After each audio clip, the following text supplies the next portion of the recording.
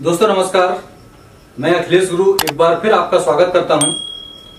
दोस्तों, प्रतिभा नमन के चौदहवें एपिसोड में आज हमारे साथ हैं अंतरराष्ट्रीय ख्याति प्राप्त ज्योतिषाचार्य पंडित गौरी शंकर जी शास्त्री।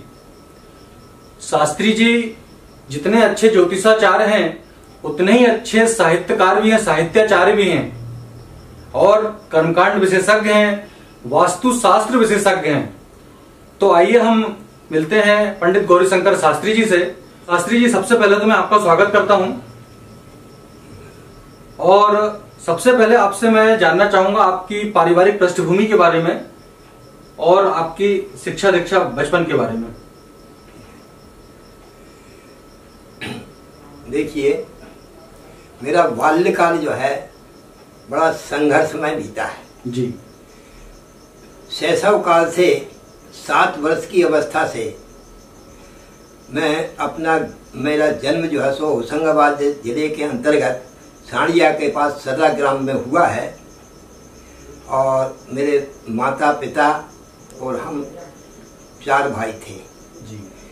तो दोनों भाई एक गढ़वारे में और एक गोटे गाँव में रहा करते थे। जी।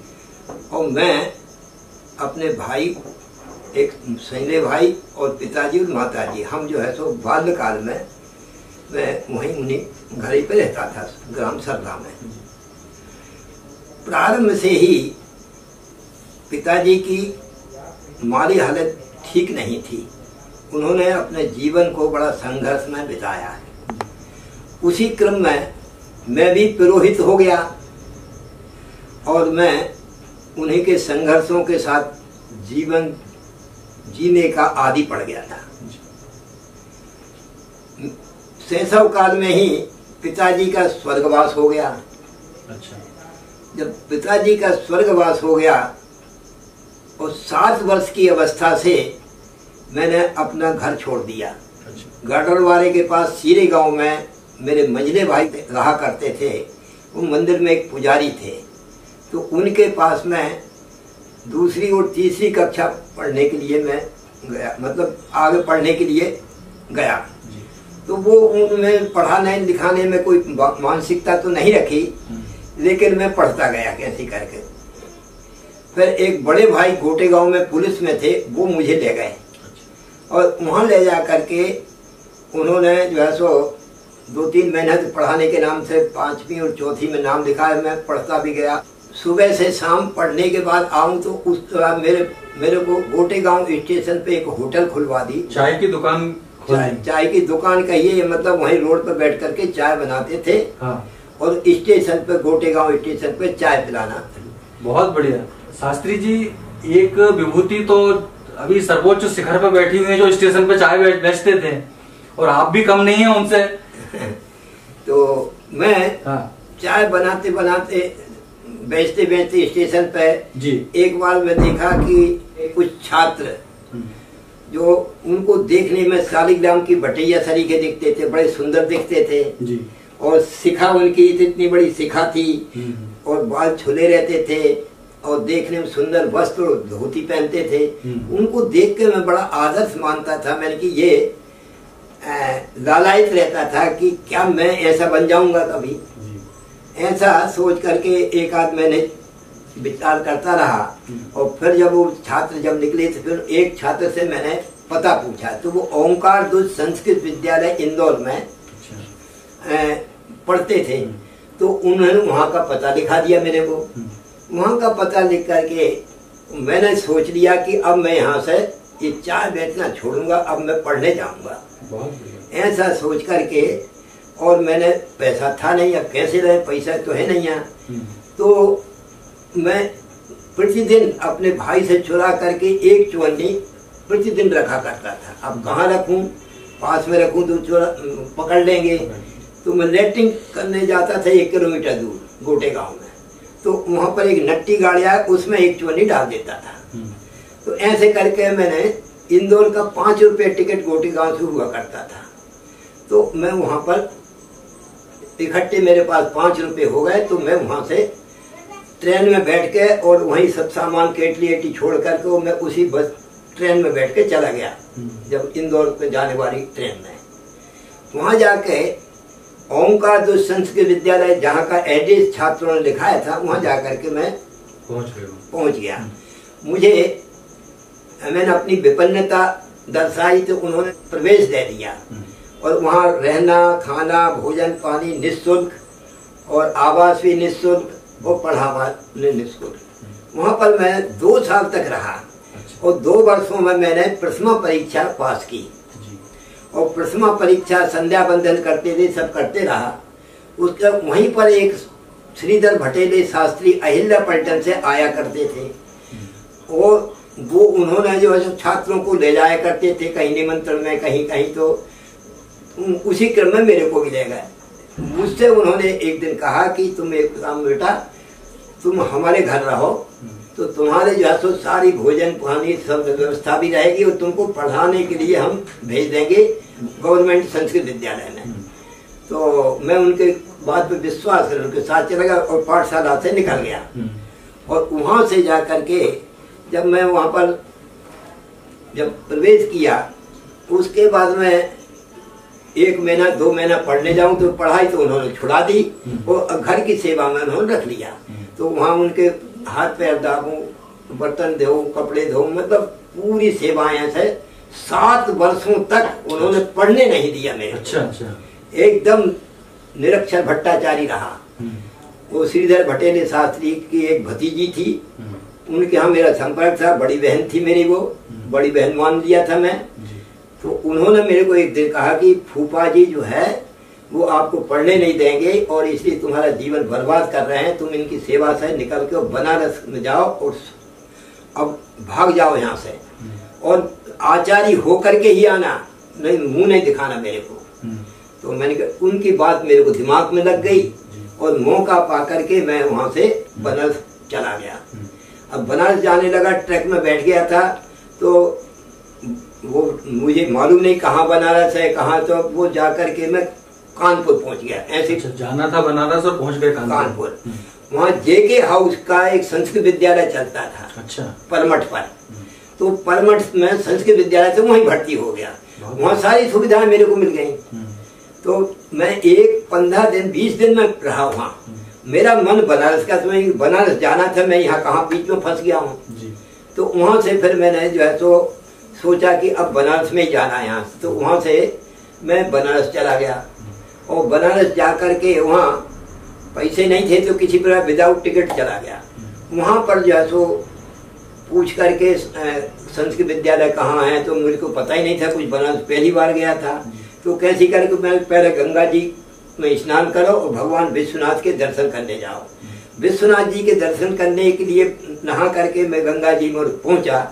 वहीं पर बहुत से छात्र जो है मिल गए, क्योंकि वो वहाँ आते थे और वहाँ अन्य क्षेत्र लगा था तो अन्य क्षेत्र में वो आना करते थे। वहीं से भोजन करते थे। तो एक छात्र से मैंने पूछा, मेरे को पढ़ने के लिए आया हूँ, मैं कहीं विद्यालय हो तो बताओ। तो एक छात्र मुझे, वहाँ कानकुब्ज संस्कृत विद्यालय, दशाश्वमेध घाट पर है। वहाँ पर मिश्रा जी का विद्यालय चलता था तो मिश्रा जी ने वहाँ पर जो है तो मेरे को देख करके और प्रवेश दे दिया और अपने पास रख लिया। जी। उनका जो है सो पास में सन्निधि में रह करके फिर मैंने पढ़ना शुरू किया। तो प्रथमा तो मैं कर लिया था। अब पूर्व मध्यमा दो वर्ष और उत्तर मध्यमा दो वर्ष। यानी चार वर्ष की पढ़ाई मैंने तीन वर्ष में कर डाली। और बहुत मनोयोग के साथ 24 घंटे रात और दिन पढ़ाई करता था। जी। ऐसे करके मैंने प्रथमा मध्यमा करके बाद में अब वहाँ विद्यालय मध्यमा तक था।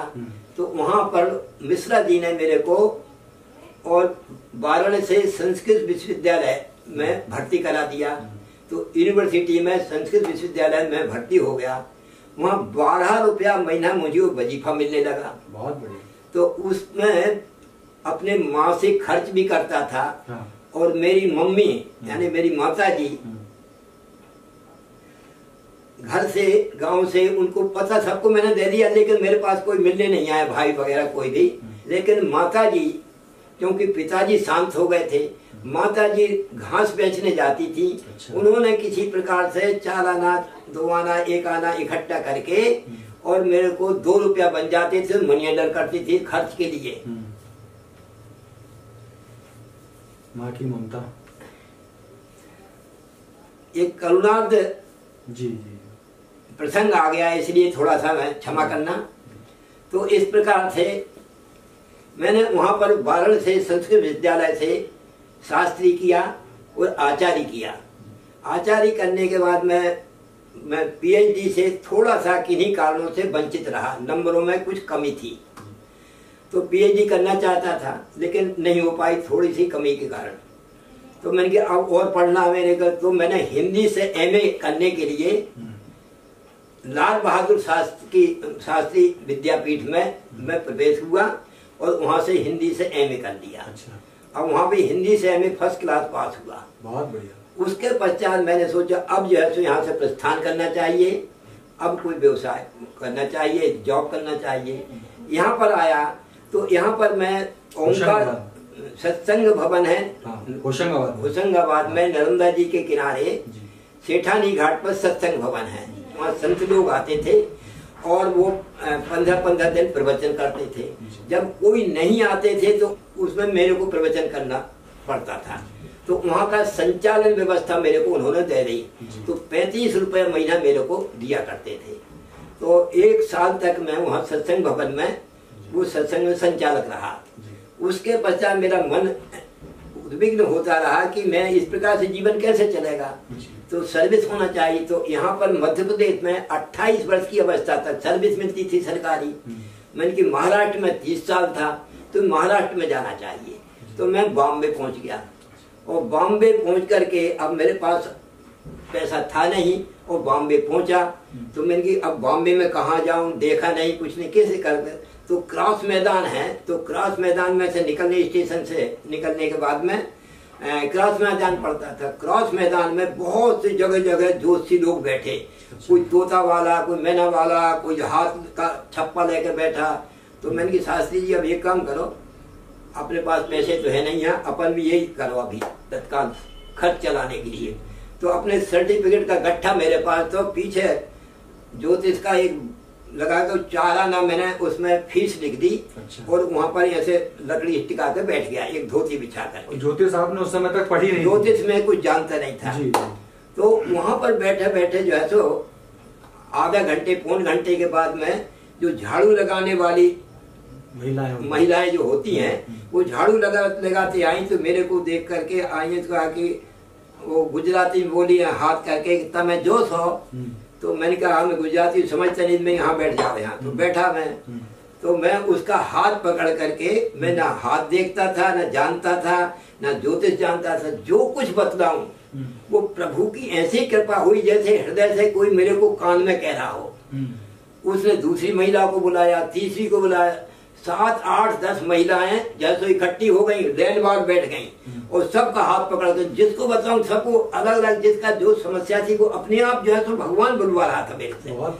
तो इस प्रकार से वो नकल में मैं बहुत कुछ आगे बढ़ गया। हम्म। फिर मैंने कहा अब जो है तो ज्योतिष ही पढ़ना है। अब तो मेरे को ये सिद्ध हो गई ज्योतिष। बहुत बढ़िया। उसके पश्चात मैं वहाँ से हम्म, धरा ज़रूर करके और निकल गया। मैंने कि भारतीय विद्या भवन के मुंशी का हुआ करता था अच्छा। चौपाटी पर। अच्छा।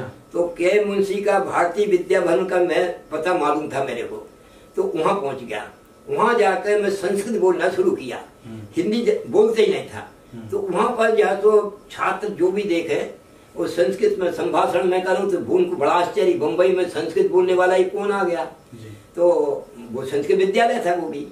लेकिन जो मैं वाराणसी से थ्रू आउट संस्कृत वाला था तो इसलिए उन धीरे धीरे मेरा समाचार आधा घंटे बाद प्रिंसिपल के पास पहुँच गया। तो भाई शंकर पुरोहित वहाँ के प्रिंसिपल हुआ करते थे।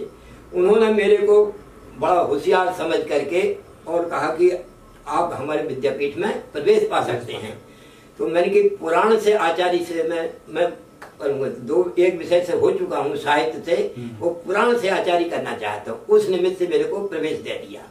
वहाँ मैंने प्रवेश पा करके बड़ा प्रसन्न हुआ और जो है तो मेरे सारी सुख सुविधाएँ आवास वगैरह सब मिल गया साबुन तेल सब मिलता था निःशुल्क। उसके पश्चात मैंने दो दिन के बाद मैं अपनी कुंडली दिखाने के लिए वहाँ ज्योतिष विभाग विभाग के अध्यक्ष हम्म। श्री गुरु हरि प्रपन्नाचार्य जी अच्छा। जिनका स्मरण मेरे को सतत रहता है तो ऐसे परम श्रद्धे गुरु जी ने मुझे पढ़ाना शुरू किया। तो सात दिन तक मैंने गणित सीखा उनसे और गणित सीख करके ज्योतिष का गणित सीख करके और मैंने के अब इतने मैं पढ़ लूँगा। फलादेश तो मैं उसके पश्चात संन्यास आश्रम विले पालने में है। वहाँ से छात्र लोग कुछ आना जाना करते थे। और वहाँ बड़े व्यवसाय चलता था मतलब कर्मकांड का बहुत काम आता था। तो एक दो छात्रों ने पंडितों ने मेरे से कहा कि तुमको भी जो है ये पूजन करवा देंगे उसमें इस प्रकार से मुझको पूजन पाठ में ले जाने लगे। तो मैंने ये स्थान छोड़ दिया और वहाँ पर जो है सो संन्यास आश्रम में मैं चला गया। वहाँ पर श्री ब्रह्मानंद जी सरस्वती ब्रह्मानंद गिरी जी महाराज वो वहाँ के महामंडलेश्वर थे अच्छा। उनकी कृपा से वहाँ निवेश निवास मिल गया और सब आवास हो गया। उसके पश्चात उन्हीं के शिष्य श्री विश्वेश्वरानंद जी वो वहाँ पर आए तो मैंने उनको कुंडली देख करके कहा कि तुम यहाँ के महामंडलेश्वर बनोगे। तो मैंने वो भविष्यवाणी मैंने की थी तीस साल चालीस साल पहले। तो वो आज भी महामंडलेश्वर वहाँ के हैं अच्छा। वो अच्छा। आज भी मेरे नाम से कहते हैं कि इन्होंने उस समय आज चालीस साल पहले कह दिया था तो महामंडलेश्वर में बन गया बहुत बढ़िया उसी बीच में वहाँ से चार पाँच साल रहने के बाद में ज्योतिष का ऐसा है कि पंडितों से संपर्क करके ज्योतिष का अनुभव बहुत किया हम्म। और ग्रंथ पढ़े उसके पश्चात मैं वहाँ से पार- अपने आप में पूर्ण समझ के पूर्ण तो था नहीं पूर्ण तो कोई होता ही नहीं है। लेकिन मैं वहाँ से चल दिया और मैंने कि अब होशंगाबाद में मेरा विवाह का संयोग बना। तो मेरा होशंगाबाद में विवाह हो गया। अच्छा। के पश्चात मेरी पत्नी की जो है तो गवर्नमेंट सर्विस मिल गई। अब वो सर्विस मिल गई तो हाई स्कूल में शिक्षिका हो गई हम्म। और मैं बॉम्बे में रहा हूँ। तो इस प्रकार से एक दो साल तीन साल ऐसा उसी बीच में मेरे बालिका का जन्म हुआ। जी। और सब संघर्ष करता रहा। हम्म। उसके बाद मैं वहाँ से सलकनपुर संस्कृत विद्यालय। जी। वहाँ पर जो है सो मैं होशंगाबाद आऊँ मैंने क्या बम्बई छोड़ो होशंगाबाद में ही रहेंगे। तो वहाँ रहते रहते एक दो महीना ऐसा व्यर्थ का रहा। तो मन न लगे तो क्या करना चाहिए? सलकनपुर संस्कृत विद्यालय में और मैं प्रधानाचार्य हो गया। अच्छा। वहाँ जा करके मुझे चार सौ रुपया महीना मिलता था। उस जमाने में चार सौ रुपया महीना बहुत बड़ी चीज़ थी। वहाँ पर अध्यापन कार्य कराते गए। छह महीने के बाद मैं वहाँ पर महर्षि महेश योगी विद्यापीठ से दिल्ली से नोएडा से एक विज्ञापन निकला। उसमें जोशियों की आवश्यकता थी। अच्छा। मैं इंटरव्यू में गया। तो वहाँ इंटरव्यू में लेट पहुँचा तो वो सब हो गया था इंटरव्यू हम्म। मैं शाम को पहुँचा था। तो मैंने कि वहीं का राग रंग देखता रहा। एक घंटा वहाँ राग रंग देखता रहा। तो बार बार जो कुलपति वहाँ से जाते थे तो सुरक्षा गार्ड उनको दरवाज़ा खोल देते थे अरे साहब आए साहब आए। तो मैंने कि मालवी जी मालवी जी कहा करते थे? मालवी जी की गाड़ी आ रही। हम्म। तो मैंने माल मैं मन में सोचा कि मालवी जी कौन है। हम्म। तो तो मैंने किसी से पूछा कि ये रिटायर है वाराणसी संस्कृत विद्यालय में। हम्म। रजिस्ट्रार हुआ करते थे। हम्म। वो सुरक्षा गार्डों ने बताया तो वो यहाँ पर कुलपति हो गए। हम्म। मेरे को बड़े आनंद की अनुभूति हो गई। हम्म। क्योंकि मैं वाराणसी संस्कृत विद्यालय में मैं छात्र संघ का अध्यक्ष हुआ करता था। अच्छा। मेरे से इतनी है उनकी तो उन्होंने तो अब वैसे उनको कैसे मिला जाए? मैंने वहीं बैठे बैठे चिट्ठी लिखी। एक पंडित विद्वान आ रहे थे तो उनको मैंने चिट्ठी दे दी। और उन्होंने मेरे को वहाँ पर प्रस- प्रस्तावित कर दिया। जब मैं वहाँ पहुँचा तो मालवीय जी ने देख के बड़ा प्रसन्न। और रात्रि में आठ बजे जो है महर्षि जी के सामने मेरा इंटरव्यू हुआ। अच्छा। और इंटरव्यू में मेरे को तत्काल रख दिया और मेरे को धन लगा दिया इतना पैसा तुमको मिलेगा। इस प्रकार से जो है मेरा वहाँ पर प्रवेश हो गया। जी। अब पंद्रह दिन महीना भर के बाद मैंने सोचा कि यहाँ पर रहने मेरे को महर्षि जी से जब तक दर्शन न करूँ मेरे को आनंद नहीं आएगा। हम्म। तो वहाँ के एक विद्वान थे जो ज्योतिष विभाग अध्यक्ष थे। हम्म। उनका सहारा मैंने लिया उनके सहयोग से और मैं महर्षि जी से मिला। प्रथम दर्शन महर्षि जी के करने के बाद मैं गदगद हो गया। मैं आज भगवान के दर्शन हो गए। बहुत बढ़िया। तो महर्षि जी ने हम्म। को मैंने अपनी पूरी व्यथा कथा बताई। मैंने महर्षि जी मैं पढ़ाने के लिए नहीं आया हूँ। मैं विद्यापीठ बनाने का मेरा लक्ष्य है। और मैं विद्यापीठ बनाना ही चाहता हूँ। तो तो ऐसा आपसे जो भी आप आदेश करें। तो तो महर्षि जी ने कहा कि ठीक है। तो उन्होंने कहा कि तुमको पहले जर्मनी भेज देते हैं हम। वहाँ से लौट के आओगे, बना लेना। तो जर्मनी के लिए मेरा पहला जो है सो, वो बन गया, वीज़ा बन गया और सब जर्मनी की तैयारी हो गई। तो जर्मनी जाने के लिए एक रामेश्वर शास्त्री मैं, हम दोनों को जर्मनी का वीज़ा तैयार हो गया। अब उन्होंने महर्षि जी ने फिर शाम को मिलने जाते थे, जर्मनी जाने के पहले। अब मैं गया दूसरे दिन उनके पास महर्षि जी के पास तो कहा गौरी शंकर तुम नहीं जाओगे ये रामेश्वर शास्त्री जाएँगे। अब मेरा दिमाग खराब हो गया। फिर मैंने सोचा कि अब क्या करना चाहिए? तो 24 घंटे एकदम विद्यालय छोड़ने का मन बना लिया मैंने। अब यहाँ से चल देना चाहिए। शाम को महर्षि जी ने गाड़ी भेज दी मेरे पास और कहा कि गौरी शंकर को बुलाओ।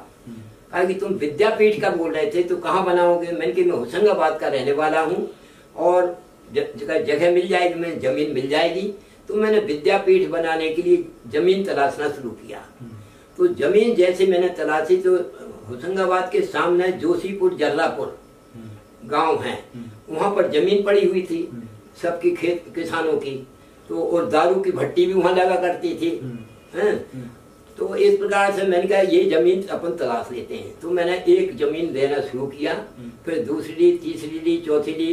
दारू की भट्टी जो लगती उन लोगों को जिनकी दारू की भट्टी उनको समझा बुझा करके मैंने कि यहाँ पर विद्यापीठ बनेगा ऐसा करेगा। मैं उनको उपदेश देना शुरू किया। इस प्रकार से मैंने बावन एकड़ ज़मीन खरीद ली। अच्छा। बावन एकड़ ज़मीन खरीदने के पश्चात फिर महर्षि जी ने कहा अब छात्र लाओ। तो मैं एक जीप दे दी थी तो जीप से पूरे मध्य प्रदेश के 10-25 जिलों में घूमा और एक हज़ार छात्र मैंने इकट्ठे कर लिए। बहुत बढ़िया। अब एक हज़ार छात्र कहाँ रखे हैं? अभी तो ज़मीन खरीदी है। तो अब उनके लिए होलीपुरा में उनका पुराना एक आश्रम दस साल से बंद था। अच्छा। उसमें 2000 छात्र रह सकते इतना बड़ा आश्रम बना था। और बिल्डिंग बनी हुई थी। वहाँ पर मैंने बैठ करके और विद्यापीठ बनाने के लिए और छात्रों को वहाँ पर रख दिया।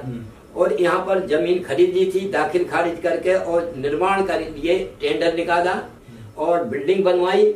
और उसके बाद महर्षि जी के नाम से क्या है कि पूरे नगर में होशंगाबाद में मेरा जुलूस निकला। सम्मान मिला पूरे सब जगह से। इस प्रकार से और कुलपति नियुक्त करके महर्षि जी ने भेज दिया। कई तुमको मैं कुलपति नियुक्त करता हूँ और पहले तुम कुलपति रहोगे वहाँ के। तो पूरे वहाँ के आश्रम के गजट में सब में कुलपति छप गया मैं और यानी उनके जो है सो डेढ़ सौ विद्यापीठ हैं जी। भारत में। और ऐसे 108 देशों में उनके जो है सो आश्रम बने हुए हैं। तो फिर महर्षि जी ने कहा कि अब तुमको मैं सारे विश्व में घुमा दूँगा। जी। तो दो साल के बाद मैं महर्षि जी ने मेरे को कहा कि अब तुमको विदेश भेजता हूँ मैं।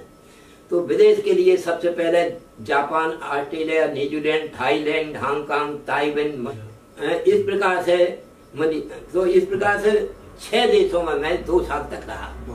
वहाँ पर मैं क्या करता था भावातीत ध्यान सिखाता था। दोस्तों इस इंटरेस्टिंग इंटरव्यू का दूसरा भाग शीघ्र ही प्रकाशित हो रहा है। बने रहिए हमारे साथ। वीडियो को लाइक शेयर कर चैनल को सब्सक्राइब करें बेल आइकन प्रेस करें। बहुत बहुत धन्यवाद।